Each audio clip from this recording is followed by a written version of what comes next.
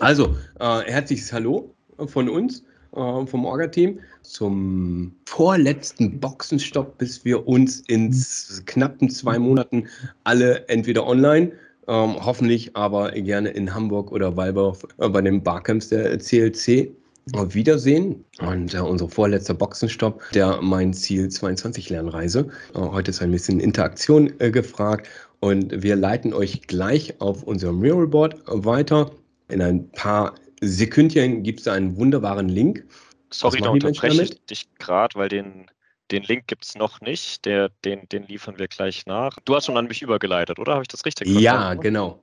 Hm? Habe ich dir gerade rechtzeitig ins Wort gefallen. Ähm, danke.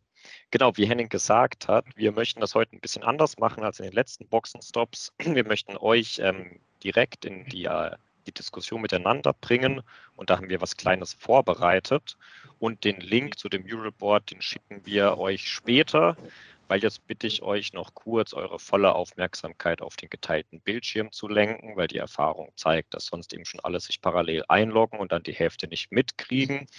Ähm, von daher lehnt euch noch zurück und gleich bekommt ihr den Link. Dann kommt ihr nämlich genau dorthin, was ihr dort seht. Und dann wird euch der Karl-Heinz in verschiedene Breakout-Sessions schicken. Das sind dann irgendwie so fünf bis sieben Leute pro Breakout-Session.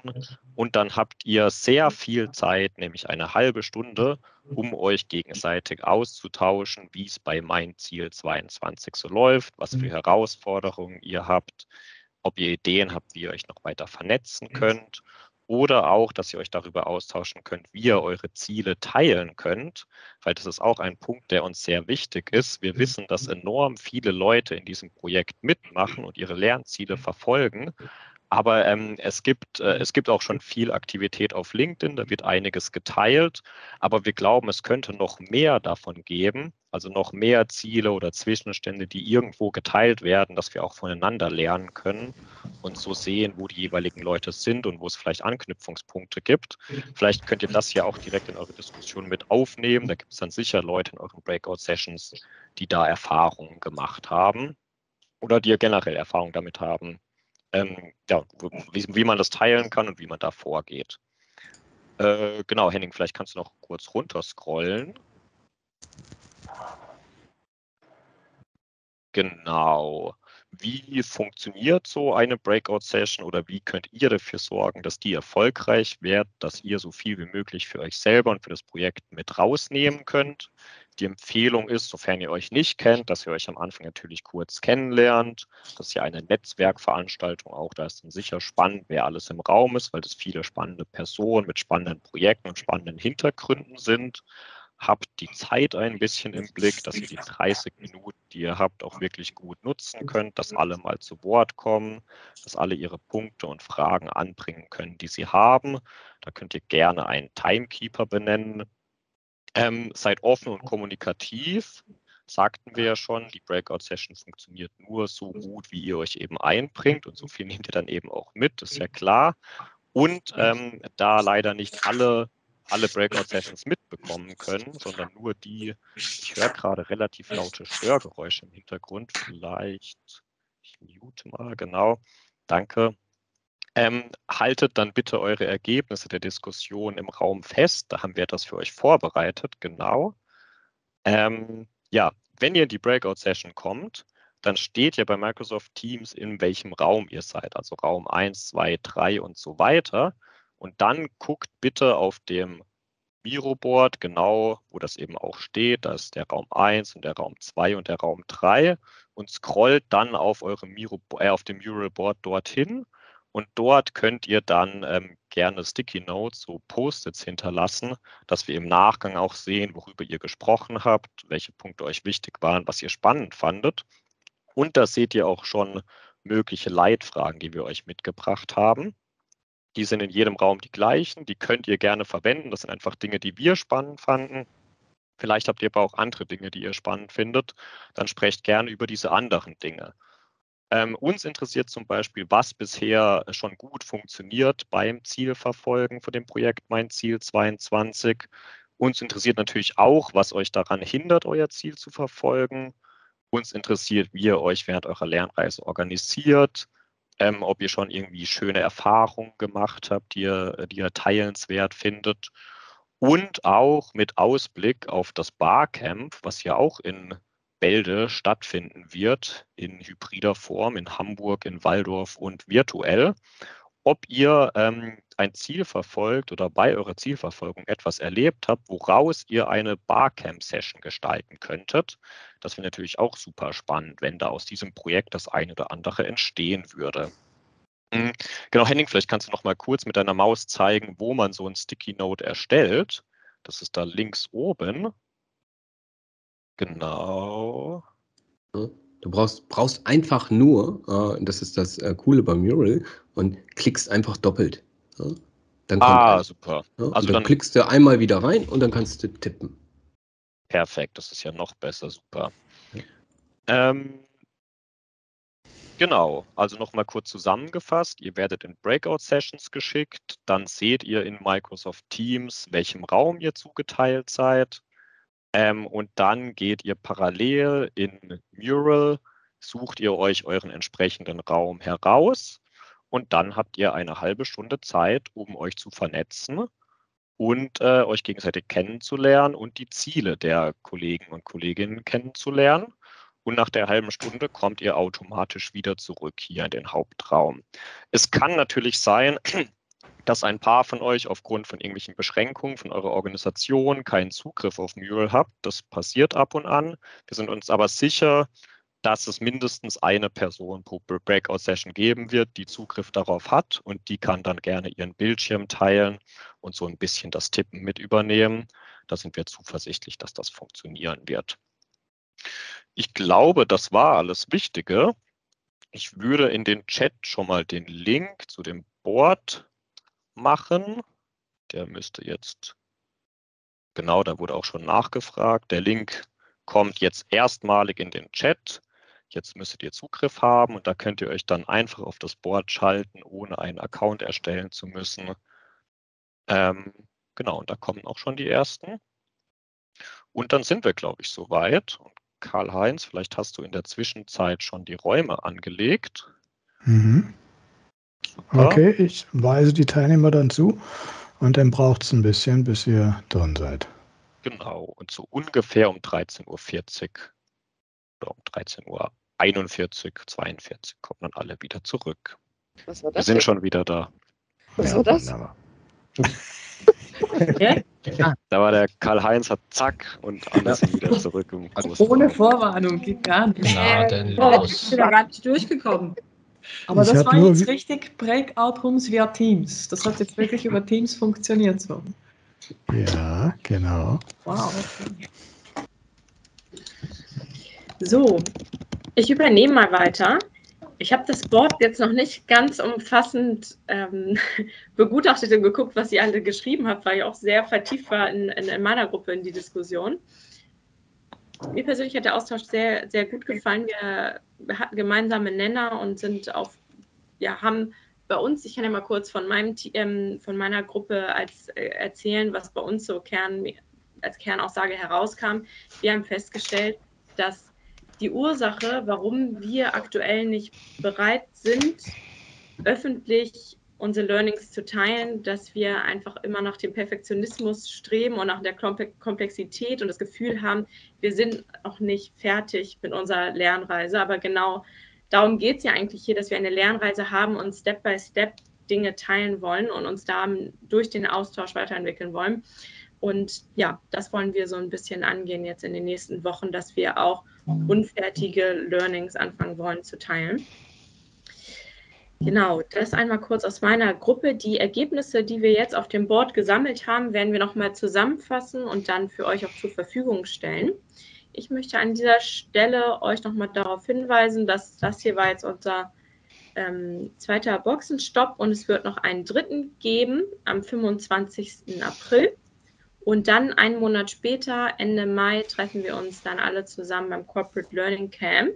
Und dazu wollen wir auch ermutigen, dass das alles, was ihr jetzt alle auf eurer Lernreise an Ideen und Erkenntnissen sammelt, dass wir das dann auch gemeinsam zur Verfügung stellen oder nochmal von einem anderen Ansatz nochmal gemeinsam erarbeiten wollen in Sessions. Also da nochmal die Ermutigung, sich damit auseinanderzusetzen, was man gegebenenfalls auf dem Corporate Learning Camp dann selber teilen kann. Genau, das wollte ich gerne teilen und an dieser Stelle würde ich dann nochmal an Karl-Heinz übergeben. Du wolltest auch noch ein paar Impulse zum ja. Thema Wissen teilen in die Gruppe geben. Danke, Svenja. Ja, und ich freue mich, dass der Werner Sauter heute hier ist. Der Werner hat ein ganz besonderes Angebot für eine begleitete Kompetenzentwicklung. Werner, vielleicht kannst du ein bisschen darstellen. Ich glaube, da können noch Leute einsteigen. Die ersten machen es ja schon mit dir. Ja, gut. Äh, wir haben äh, ein Konzept, mit dem wir es möglich machen, äh, Werte- und Kompetenzentwicklung gezielt durchzuführen.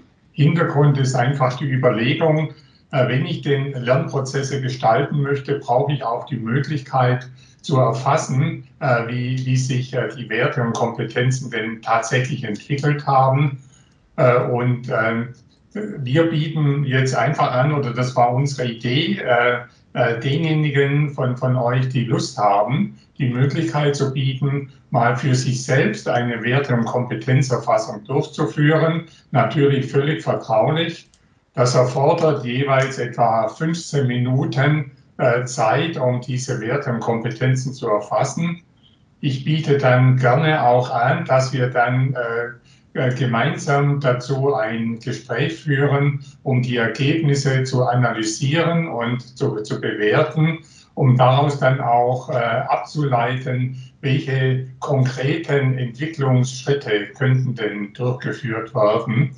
Und das ist jetzt quasi einfach mal die Möglichkeit im Selbstversuch, äh, solch ein System ohne jede Verbindlichkeit und vertraulich äh, auszuprobieren. Und wer Lust hat, sollte sich einfach bitte bei mir melden. Dann richte ich das ein und dann können wir auch gerne einen Termin vereinbaren für dieses Gespräch. Wunderbar. Denn wir machen ja bei Mein Ziel 22 etwas in Richtung Kompetenzentwicklung und hier äh, passt es ganz gut zu, mal eine ganz andere, einen ganz anderen Weg dahin zu gehen. So, und dann würde ich ganz gern noch ergänzen, ähm, wir haben 259 Leute, die sich in der Zwischenzeit angemeldet haben äh, bei Mein Ziel 22.